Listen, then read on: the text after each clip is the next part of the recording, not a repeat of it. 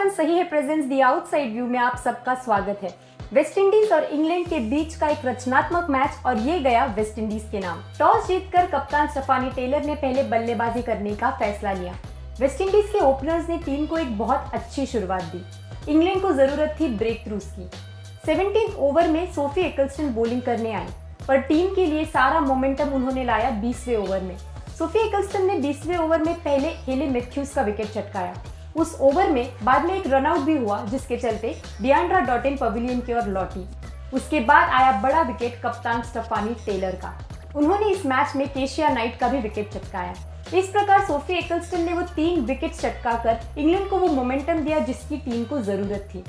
बाद में इनिंग्स की सारी ज़िम्मेदारी आई शिडीन नेशन और शिमेन कैम्बल पर। उन्होंने एक बहुत अच्छी साझेदारी निभाई, जिसके चलते वेस्ट इंडीज ने 225 का टारगेट इंग्लैंड के लिए तय कर दिया।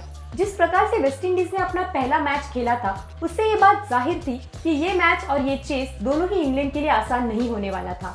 इंग्लैंड के ओपनर लॉरेन विनफील्ड हिल जल्द ही पवेलियन की ओर लौटी, जब डियांड्रा डॉटिन ने एक बहुत ही बेहतरीन कैच पकड़ा।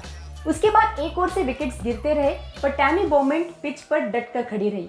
जब वे भी पेविलियन की ओर लौटी तो डैनी वाइट और सोफिया डंकली ने टीम की सारी ज़िम्मेदारी संभाली। उन दोनों की विकेट्स के बाद केट क्रॉस और सोफी एकल्स्टन ने अंत में साझेदारी निभाकर इंग्लैंड को जीत दिलाने की कोशिश की, पर वेस्ट इंडीज के बोलर्स के प्रदर्शन के चलते उन्होंने ये मैच सात रनों से जीत लिया। मैच में शमीलिया कॉर्नल ने तीन विकेट चटकाए, वहीं हेले मैथ्यूज और अनिसा मोहम्मद ने दो विकेट चटकाए।